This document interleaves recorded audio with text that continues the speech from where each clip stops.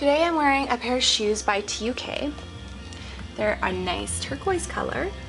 They have black stitching along the edges, little red hearts, and kind of a nautical theme I guess, with a little silver anchor there. And there's another one there. I would say they're about three and a half inches. They're super comfy. We do still have them in stock. And we will be getting more too because these are amazing.